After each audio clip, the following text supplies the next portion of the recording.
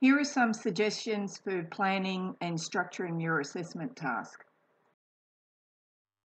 You need to ensure that your timeline is on a on an appropriate scale, that the you have about seven or eight astronomers included in it, that you've got their name, their birth and their death, and they're positioned using a line uh, relative along the um, timeline and make sure that they're in the correct order.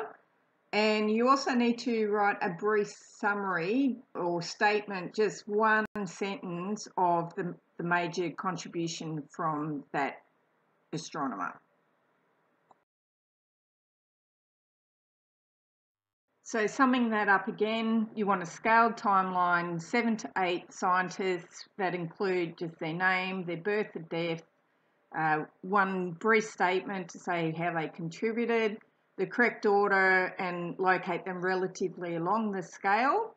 And it's when their model was proposed as opposed to their birth or death is where you, you fit them along the scale.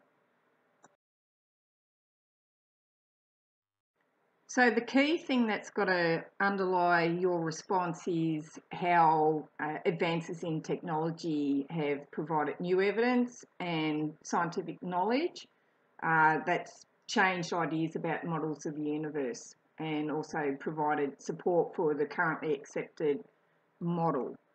So I'm going to go into the next slide into a bit more detail how you should structure it.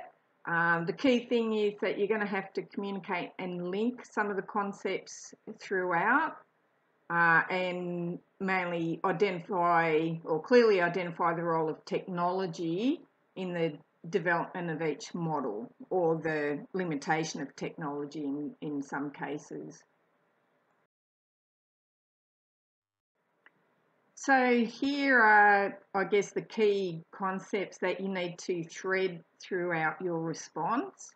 Uh, I'll just work through them, but they've got to be linked to each other and you've got to show some sort of logical flow of this information.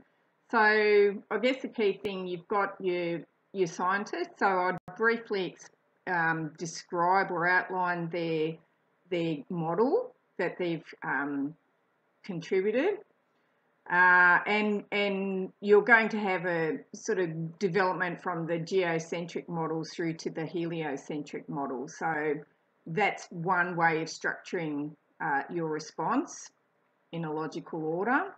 Uh, for each model, you've got to look at the role of technology. Um, so previous models, obviously, they were limited uh, to eyesight and making observations in that way through to the development of tools that were used to measure, like the quadrant or the sextant, uh, and then on to the telescope. So you've got to you've got to pretty much say how that has helped advance or develop the models. Um, then you can relate that to the collection of data in terms of reliability, the accuracy, the quantity of data that's being collected. Um, and then you want to talk about how uh, the accuracy of predictions uh, based on those models as well. Uh, so further down you'll be needing to discuss um, the advantages of each model over previous ones. So how has one model sort of um, added more or to a previous model or how has it actually turned that previous model on its head? Um, and uh, again, going back to the idea of what the thread with the technologies, assess each model in terms of, well, technological limitations, but also how that, that technology has improved um, uh, knowledge and understanding, how it's improved our reliability of data um, and accuracy of data that's been collected.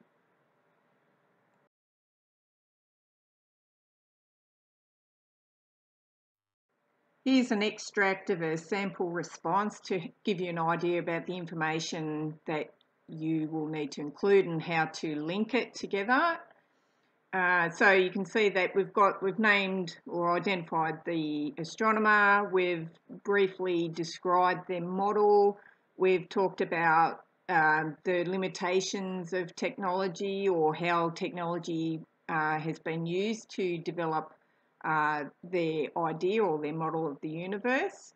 And um, it relates to, I guess, future models, how they, uh, for example, it relied on his uh, data for the development of future ones. Um, and uh, I guess how it uh, improved on previous ones. For example, this one talks about how um, he's collected a, a, a, large quantity of data that's uh, way more accurate um, than what could have been done before without the use of technology.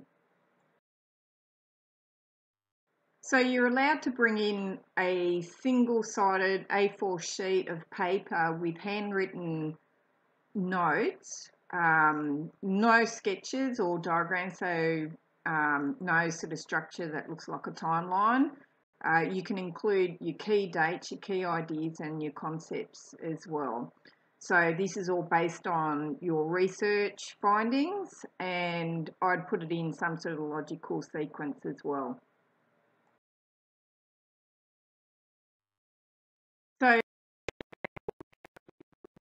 write your summary dot points. Um, so keep it brief and um, you can abbreviate words as well to uh, give you some more room.